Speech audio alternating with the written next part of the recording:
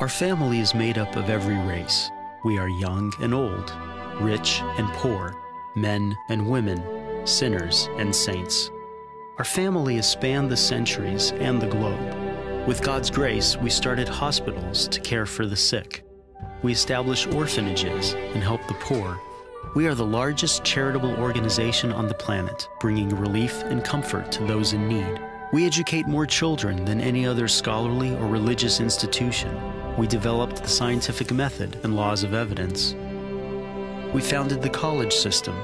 We defend the dignity of all human life and uphold marriage and family. Cities were named after our revered saints who navigated a sacred path before us.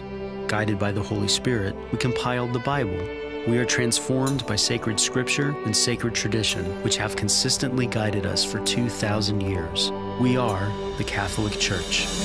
With over 1 billion in our family, sharing in the sacraments and fullness of the Christian faith.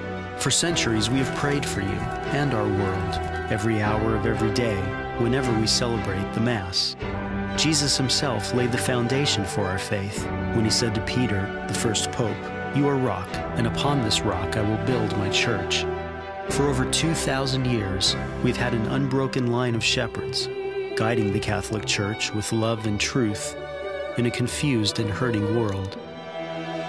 And in this world filled with chaos, hardship, and pain, it's comforting to know that some things remain consistent, true, and strong our Catholic faith, and the eternal love that God has for all creation. If you've been away from the Catholic Church, we invite you to take another look. Visit CatholicsComeHome.org today. Ours is one family, united in Jesus Christ, our Lord and Savior. We are Catholic. Welcome home.